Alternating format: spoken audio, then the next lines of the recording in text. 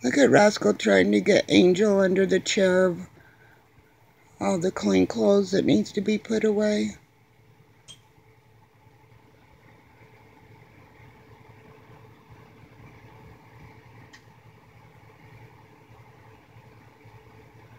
You two little goofballs.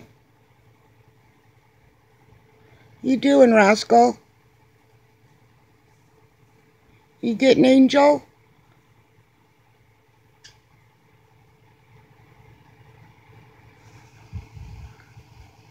Ribbies went back to sleep, telling me to keep everybody quiet.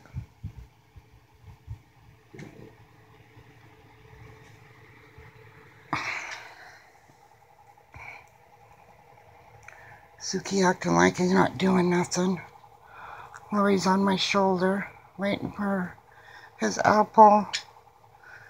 You're not going to take a bath in that water, Zuccie. Too little. Right, Laura? Tell Cass hi, Lori. Tell Cass hi. Tell him you're a crybaby. Her's a crybaby. All her's tired from causing all the trouble. Okay. I have to go beat up all these little animals.